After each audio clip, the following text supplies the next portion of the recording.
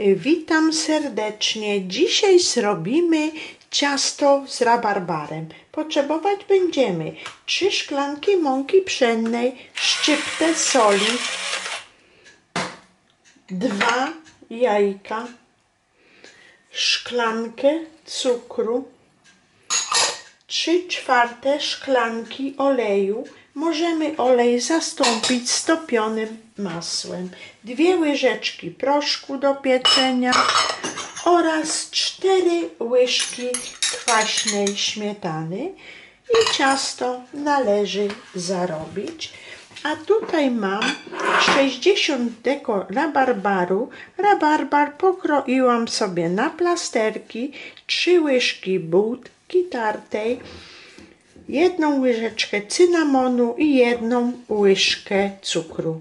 Jeżeli lubimy słodkie ciasta, zwiększamy ilość cukru.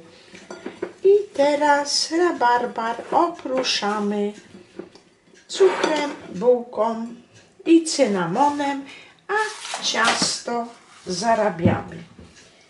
Ciasto zarobimy i podzielimy na dwie części.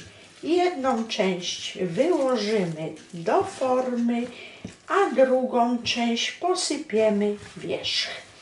Jest to bardzo szybciutkie ciasto, a zarazem bardzo smaczne.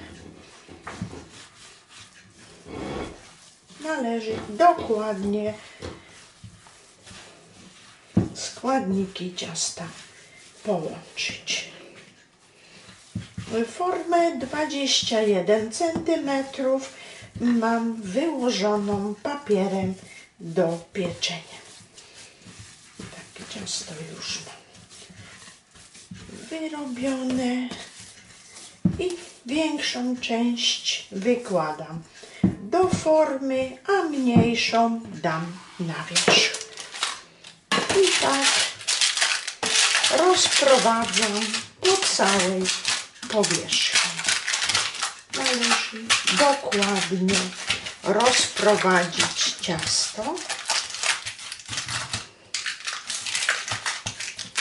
Pokrywamy całą powierzchnię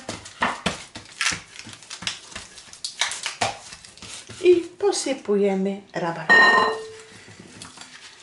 Rabarbar również rozprowadzamy po cieście. Bułkę tartą możemy dać, ponieważ bułka tarta wchłonie nadmiar płynu. I teraz na wierzch ułożymy pozostałe ciasto. Ciasto będziemy piekli około 50 minut w 170 stopniach. Ja zawsze powtarzam, pieczemy do suchego patyczka.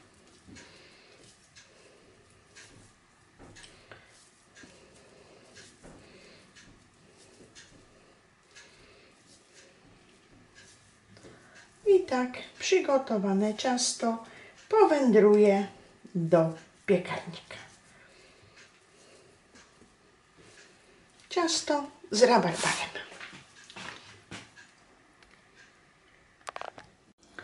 Ciasto z rabarbarem mam pięknie upieczone. Opruszymy cukrem pudrem. Możemy to zrobić obficie, ponieważ rabarbar ma kwaskowaty smak.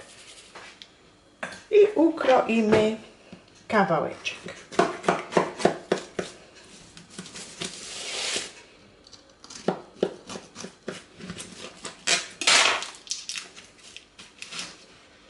I tak wygląda ciasto w przekroju z rabarbarem. O ile Państwu mój przepis się podoba, to serdecznie proszę o łapkę w górę.